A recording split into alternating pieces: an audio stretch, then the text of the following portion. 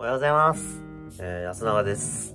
えー、今回はタイトルにも書いてある通り、5万円台のメガネを、えー買いました。えーずーっとずーっと片思いしていたメガネなんですけど、えー念願かなってようやく買いました。えーこちらですね。こちら箱なんですけど、ジャック・デュランっていうメーカーの、イタリアのメーカーのメガネです。えーこちら箱ですけど、箱の中にはこういう革のケース、可愛いケースがついてまして、まあ、どんなメガネなのかしらっていうことで、こちらです。このまん丸いメガネ。ちょっと縁が大きい感じのメガネですね。で色はブラウンデミですね。えー、まあ、型番っていうか、まあ、ジャック・デュランの506っていうモデルです。はい。じゃあ早速かけていきます。こんな感じです。どうでしょうか？今の髪型とも結構マッチしてるんじゃないかなっていうふうに自分では思ってるんですけど、もうね、かれこれずーっと欲しかった メガネなんで、めちゃくちゃ今テンション上がってます。はい。本体価格が4万4000円かなで、レンズがいろいろ選ばし選べるんですけど、えー7000円の一番安い レンズをつけて、えー合計5万5000円ぐらい、5万4000円ぐらいですかね。えー買ってきました。もうね、すごい、もう気に入ってて。自分自身この、なんて言うんだろうな、メガネかけるとき、買うときのこだわりとして、俺メガネかけてますよっていうのを前面に出したいんですよね。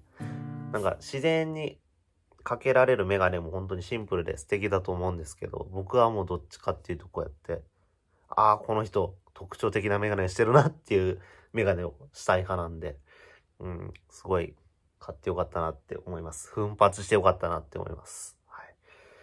えーっとですね、まあ、まあ、有名な人が一人かけてて、イエローマジックオーケストラの、えー、坂本龍一さんが愛用していることで、まあ、ことでっていうか、まあ、有名ですね。うん。まあ、カタカタって Google で検索なんかしてもらうと、まあ、彼がかけてる、あの、画像がよく出てくると思うんで、まあ、ぜひ見ていただけたらなと思います。で、まあね、うん、どうですか？似合ってますか？僕は、僕自身はすごい似合ってるっていうか気に入ってるんですけど、うん。あと自分の家族、まあ、妹とかにもいいねっていう評価をいただいたんで、まあまあいいかなって思ってるんですけど、どうですか？うん。うん。二人似てるって言われて、一人は三谷幸喜さん、映画監督の三谷幸喜さん似てるねって言われて、あと一人、ブルーエンカウントのボーカルに似てるねって言われました。まあ、黒縁もあったんですけど、こっちのブラウンデミの方が、なんか優しい感じが出るかなと思ってこっちの色にしました。うん、いやー、気に入ってます。使い倒していきたいんですけど、割と僕の持ってる中でも、僕、まあ僕の持ってる中っていうか、ほとんどジン JINS と Zoff をずっと愛用してきたんで、まあ安い軽いメガネをね、安くて軽くていいメガネをずっと愛用してきたんで、今度高くてかっこいいメガネだとちょっとおどおどしちゃってるんですよ。これ壊さないかなっていう。街に出かけて壊さないかなって、ちょっと気持ちで負けてる自分がいまして、まあまあ大事に、大事に愛用していこうかなと思ってます。はい。